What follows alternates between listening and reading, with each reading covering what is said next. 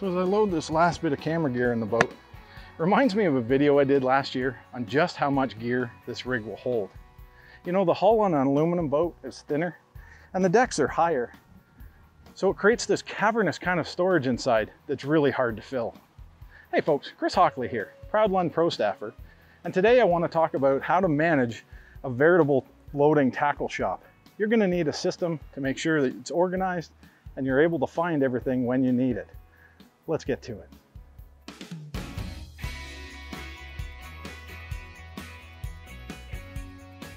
Now right beside the driver is a nice little storage area where you can throw things. So in this area, I generally keep some scissors, my remote control for the Ultrex up front, my phone up in the cup holder here. But it's very, very easy to get lazy and start throwing lures and whatever in there to, and it messes it up. So what I've done is I've actually gone and just purchased a, a nice thin storage container. This one's the uh, Betty Crocker edition. and I just keep odds and ends in here, stuff that I store. Just keeps you from throwing your tackle in there and it getting messy, getting a hook in your finger, or from it getting rusty. Now on the passenger side of the boat is more storage. And of course they can keep anything they want in here, but generally I'll keep paddles and then also the post for the cover in here. They're long, it's a long storage compartment that allow um, you to put those kind of things in. And again, readily accessible should you ever need them in the case of an emergency. So anybody who knows me knows that this could quite possibly be the most important compartment in the entire boat. this uh, igloo cooler actually comes with the boat, pops out, so you can take it inside make your lunch. But yeah, lunch and drinks. I find it's really nice. It's readily accessible, but it also keeps everything cool all day long. Now at my feet here is another step up to the rear deck. Uh, of course it has cup holders in it and you can keep whatever you like in it. I generally keep a garbage bag here. It's just in the middle of the boat, makes it very easy to throw your garbage into here and then remove it at the end of the day so you don't mess up your boat. The rear deck of the 1875 Pro V Bass is so well laid out. There's two seats here that both flip up. That gives you seating, comfortable seating for four. But underneath that is storage. And generally I'll keep my life jackets here. And on this side, I keep the covers for my Humminbirds, but also the rope that I use to launch, marker buoys, I'll keep bumper buoys. My safety equipment's also in here. Fire extinguisher, my throw rope, and extra ropes just in case you ever need them. I also keep the marine safety kit in here. This is something that uh, I just have with me at all times. Just make sure that, that battery is always working in the flashlight. Now in the very rearmost portion of the boat, there's two more storage containers.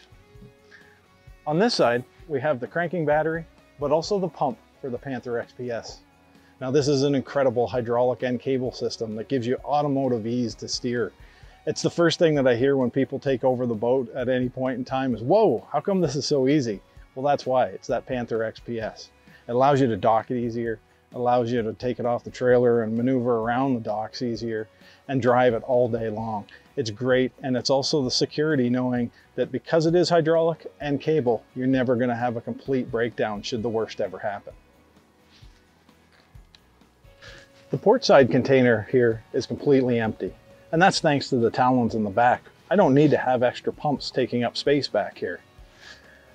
This leaves this container open and ready for anybody who's in the boat with me to store their tackle, their lunch, or any of the other gear that they want.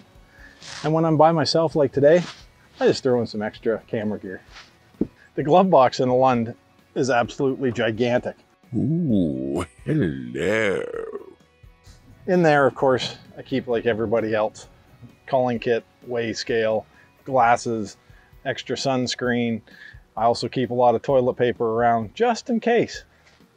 I also keep stuff in watertight storage containers. This way, if I bring that out and accidentally leave it, I don't have to worry about it getting wet. My phone, my wallet, extra gloves, glasses, and all the like in here. So I did a video last year on how easy it is to remove the second console in this boat. It's great because at the drop of a hat, you can have an open concept boat or put it back in to protect the passenger that's with you. Just remember, if you take out the console, with it goes the glove box. I've done that a couple times myself, remembering that, oh, I left my sunscreen back in the console inside the truck. A great feature in this 1875 Pro V Bass are the giant storage containers up the front. On the port side, I keep all of my fishing tackle, and that's all of the things that I could possibly need throughout the day. I've got things in plano trays, and I've got soft plastics and binders as well. I carry other bins just so that I can keep things readily accessible whenever I need them or want them. And then can easily be pulled in and out depending on what lake you're at as well. Because I do most of my rigging right here, I have two containers. One is literally labeled all the time that I have scents, dyes, clips, um, glue, anything that you may need just right here accessible. The other thing, because again, I fish a lot of plastics, I have a little binder here of eight or 10 different bags of, of product that I consistently use day in and day out that again, I don't want to be digging for. It's right here. And when I run out of something, I just simply reload it. So there's nothing in this bin that I can't get to instantly. Because we spend so much time up in the bow of the boat, I keep most of the gear in these small compartments that I want access to immediately throughout the day. Fishing line, leader material. Uh, I even have a set of jumper cables up here in the case of an emergency, should I need them or somebody else. Lund does an incredible job with these Pro V bass. And one of the best features on them is that 96 inch beam in the back. The nice thing is that they keep this boat as wide as possible all the way up to the bow so that you don't feel cramped up in the front where you spend 90% of your time. You can see even now, I'm a big boy. I can stand as far forward and have this area. I could have another guy right beside me. That's an incredible thing for me. I like lots of room and I like things out of the way. So I always make sure when I pull my rods out and I have them on the deck, I move them back to leave myself this space. This is definitely fishing central.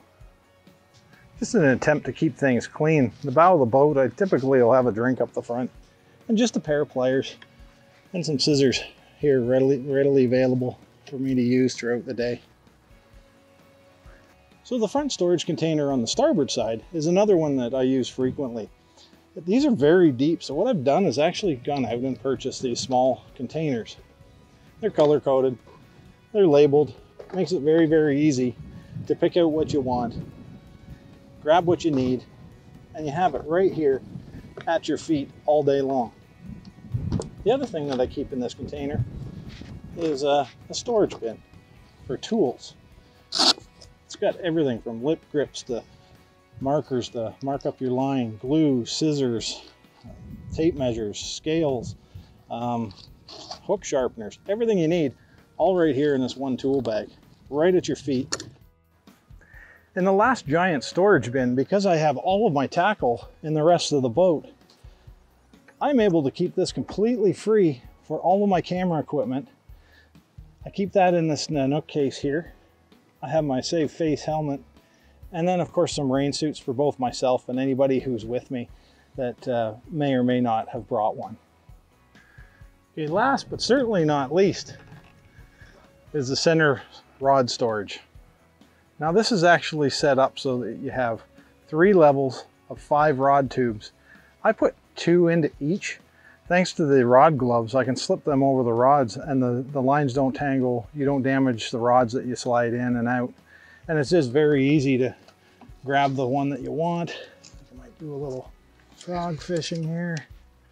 I'll lay that on the deck. And uh, well, can't go anywhere without a jig.